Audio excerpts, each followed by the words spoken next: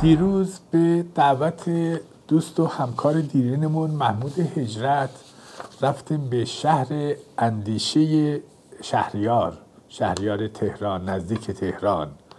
برای افتتاح یک مجموعه کارگاه ها و فروشگاه های سازگستر غرب. علت انگیزه این دعوت و علت حضور ما بیشتر به خاطر اقداماتی بوده که مسئولان این مجموعه کارگاه ها و فروشگاه ها به خرج دادن اون هم اینی که هزاران زن سرپرست خانوارها رو به استخدام گرفتن و در کارگاه های تولیدی خودشون مشغول به کار کرده بودند. در این مراسم عده از مسئولان شهریار هم حضور داشتن از جمله آقای نجفی عضو شورای شهر و از همه اینا مهمتر که خانم دکتر ملیحه بنانی کاندیدای ریاست جمهوری این دوره هم در این مراسم حضور داشته و در طی سخنانی خانم دکتر ملیحه بنانی کار آقای امیر وسوقیان مدیرعامل سازگستر غرب رو ستود که بسیاری از زنان سرپرست خانوارها رو به کار مشغول کرده و برنامه داره که در آینده تعداد بیشتری از این زنان سرپرست خانوارها رو به کار مشغول بکنه. غیر از این ایشون خانم دکتر ملیحه بنانی اعلام کردن که خود ایشون هم جز فعالانی هستند که برای اشتغال عموم و خصوصا زنان بسیار دارن تلاش می‌کنن. اما می‌رسیم به مطالب سر صفحه حقوق کارگران و میزان اجاره که بابت مسکن باید بدن واقعا معزلی است برای کارگران. تا کنون نشنیده بودم اما خبری سر صفحه به دست من رسیده که امام قلی تبار فعال کارگری گفته که مسکن 85 درصد حقوق کارگران رو میبلعه و این اگر اینطور باشه که هست اینطوری که ایشون گفته گفته که حد اکثر حقوقی که دارن میدن یا حقوقی بالاخره پایه حدود 3 میلیون و 500 هزار تومان هست و بیش از 85 درصدش رو باید برای اجاره بدن. این فشار زیادی است که به کارگران داره وارد میشه. اما کالاهای اساسی مواد خوراکی همچنان مشکل و خبرساز هست. وزارت صنایع اعلام کرده که 70 تا 80 درصد روغن خام کشور وارداتی است. می‌دونیم که این روزها فروش روغن به صف و به کارهای دیگه کشیده شده و روغن تقریبا در بازار کمیاب هست. ایشون توضیح داده که قیمت روغن پالم در بازار جهانی از 600 یورو به 900 یورو در تن افزایش پیدا کرده و همینطور توضیح دادن که روغن آفتابگردان هم از 700 یورو به 1300 یورو رسیده. میگه این عوامل دست به دست هم داد تا فشار به ذخایر روغن کشور وارد بشه. ولی با وجود این ایشون اعلام کرده که اکنون وضعیت روغن در کشور خوب و ذخیره قابل قبول هست. اما ما خبرهای گاهگاهی داریم که برای خرید روغن تشکیل صف میدن و روغن قیمت بازار سیاه هم پیدا کرده. اما البته نه اونچنان تند و حاد. ورود مسافران تجار عراق به ایران هم ممنوع شده تا اطلاع ثانوی و مرزهای مسافری چذابه و شلمچه هم دو هفته تعطیل شدن که روابط اقتصادی ایران و عراق رو تقریبا یه مقدار مختل می‌کنه. آقای معاون استاندار حشمت الله اسکری اشتباه اگر نکنم معاون استاندار تهران گفته تخم مرغ گران نمی شود امیدواریم که همینطور باشه که ایشون میگن. ایشون میگیم اتحادیه معتقد است که مرغ باید 25 هزار تومان باشه در هر کیلو و یعنی اینکه ایشون تایید دارن می‌کنن و حالی که قیمت مصوب حدود 20400 تومان اعلام شده بوده همین ایشون یعنی معاون آقای استاندار گفتن که قیمت میوه شب عید تهران 15 درصد زیر نرخ بازار خواهد بود. حتما منظورش این هست که میوایی که در این بازارهای میوه و تربار داره عرضه میشه 15 درصد ارزونتر هست.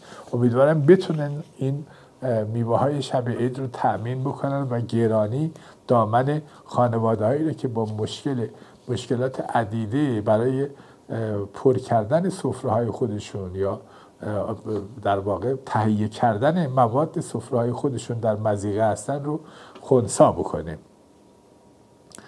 اما رئیس اتاق اصناف قیمت موز رو هم کیلویی 25 هزار تومان اعلام کرده. گفته 25 هزار تومان بیشتر نباید بفروشیم. می‌دونیم که وارد کنندگان متقاضی باید در مقابل صادرات سیب موز وارد بکنن که این کار هم دارن می‌کنن. موز هم تقریبا فراوان هست اما قیمت گرانه بیشتر از 25 هزار تومانی که ایشون خواستن در بعضی از فروشگاه ها به فروش می‌رسید خبر نچندان خوب دیگری هم سر صفحه به دست من رسیده اونم بازداشت یک گردشگر فرانسوی در تهران بوده که گویا چندی پیش صورت گرفته و پاریس هم این بازداشت رو تایید کرده.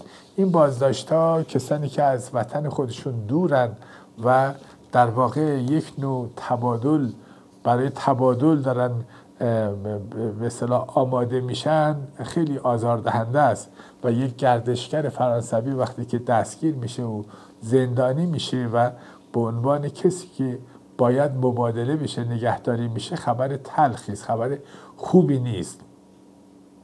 اما بیش از در جهان در منطقه خبرهای مربوط به ایران به این صورت هست که بیش از چهل عضو جمهوری خواهی کنگره آمریکا پیشنویس قطنامه را ارائه کردند که دولت بایدن را از لغو تحریم های ایران من می‌کنه. یعنی برداشتن تحریم رو نباید به این زودی ها ما انتظار داشته باشیم از سوی آقای بایدن. ارتش آمریکا هم گفته که به دستور بایدن به گروه های تحت حمایت ایران در سوریه حمله نظامی کرده. این اتفاق دیشب روی داده. ارتش آمریکا این حملات را در انتقام از حملات اخیر در عراق و کشته شدن یک پیمانکار نظامی آمریکا اعلام کرده. خبر خوبی نبوده و سازمان ملل هم اعلام کرده که دوازده میلیون و چهارصد هزار سوری امنیت غذایی ندارند. غیر از این بمباران ها این مسائل هم هست. غیر از اون آوارگی ها و مهاجرت های سوری ها این مسئله حملات نظامی آمریکا هم هست. و اما نتانیاهو نخست وزیر اسرائیل همچنان در مقابل جمهوری اسلامی ایستادگی می‌کنه و مرتبا حرفای درشتی بر علیه جمهوری اسلامی می‌زنه. امروز و دیروز هم گفته که تحریم و تهدید نظامی تنها راه برای مقابله با جمهوری اسلامی ایران هست. ایشون هم تهدید نظامی رو هم تحریم رو که هست رو لازم دونسته. مذاکرات بحرین و اسرائیل هم برای مشارکت در ساخت کارخانه تولید و واکسن کرونا توسط ولیعهد بحرین و نخست وزیر اسرائیل انجام گرفته. خیلی اسرائیل و بحرین با هم پسر خالی شدن. در واقع کشورهای عربی به سرعت دارن با اسرائیل روابط حسنه حسنه حسنه برقرار می‌کنن. آقای محسن صفایی فراهانی هم یک یادداشت نوشته و در این یادداشت گفته هیچ راهی جز اینکه با دنیا تعامل کنیم نداریم. ما نمی‌توانیم در بازارهای جهانی حضور نداشته باشیم.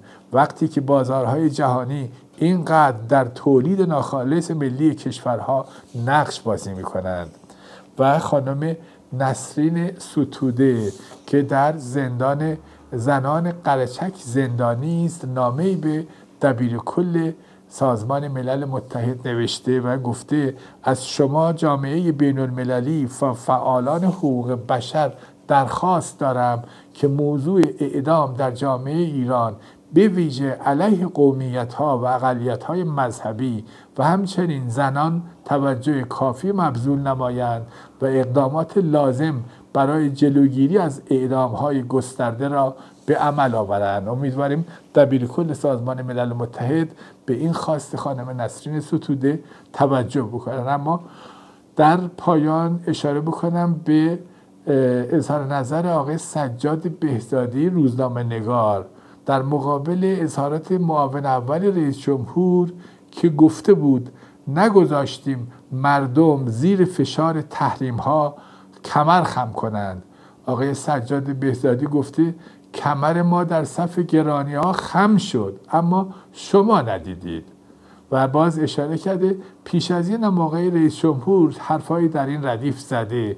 گفته زندگی مردم سخت شد ولی صف نبستند.